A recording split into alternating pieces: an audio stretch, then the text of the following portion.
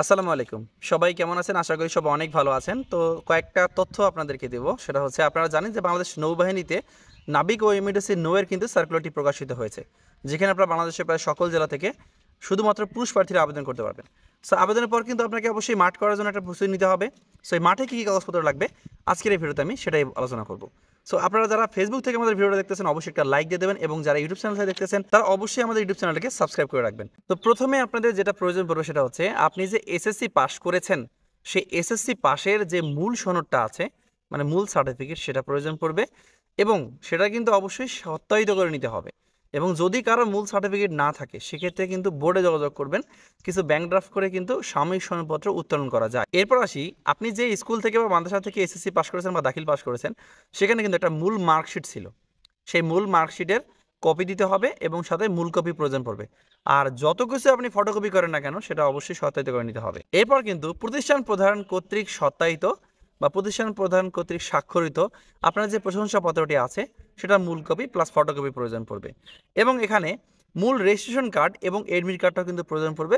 সাথে কিন্তু আপনাকে অবশ্যই ফটোকপি নিতে হবে সত্যায়িত। যদি কেউ এই কাগজগুলো দিতে অপারগ হন মূল কপি সেক্ষেত্রে আপনি ফটোকপি দিয়ে আপাতত কিন্তু কাজটা চালিয়ে নিতে পারবেন। কিন্তু যখন আপনার জয়নিং হবে, তখন কিন্তু যখন জয়েন করবেন তখন কিন্তু আপনাকে মূল কপিগুলো তাদেরকে দেখাইতে হবে বা জমা দিতে হবে।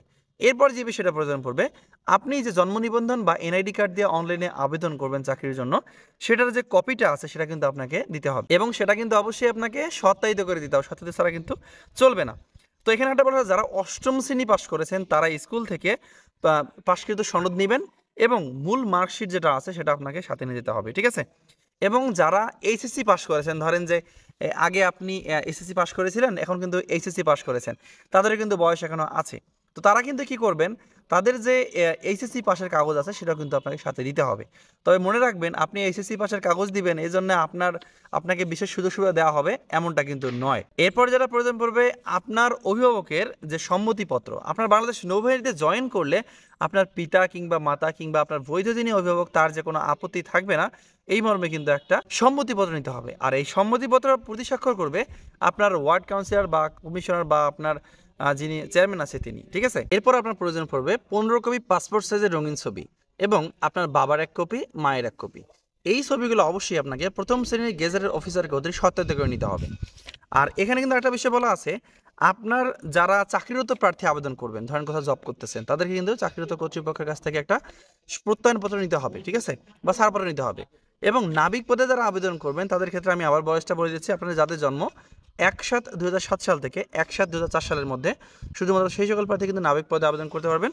আর এমওডিসি নো এর ক্ষেত্রে আপনাদের যাদের জন্ম এক সাত দু সাল থেকে এক সাত দু সালের মধ্যে শুধুমাত্র সেই সকল প্রার্থী কিন্তু আবেদন করতে পারবে। আর আবেদন গ্রহণ কিন্তু বাইশ এপ্রিল শেষ হবে। সো যারা আবেদন করেন নাই, দ্রুত গতিতে আবেদন করে ফেলেন। এতটুকু বলার ছিল। ধন্যবাদ সবাইকে যারা সম্পূর্ণ ভিডিওটা দেখেছেন। সবাই ভালো থাকবেন, সুস্থ থাকবেন। আসসালামু আলাইকুম।